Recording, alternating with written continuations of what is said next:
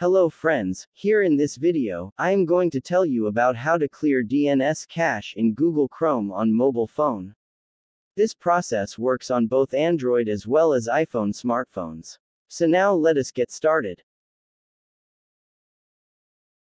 Step 1. Open Google Chrome on your device.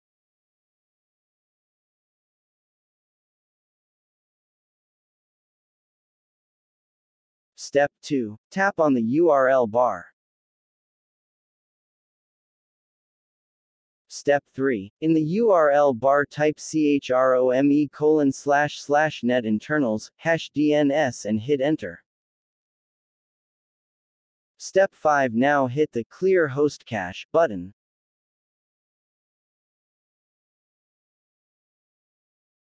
That's it, the DNS cache will be successfully cleared.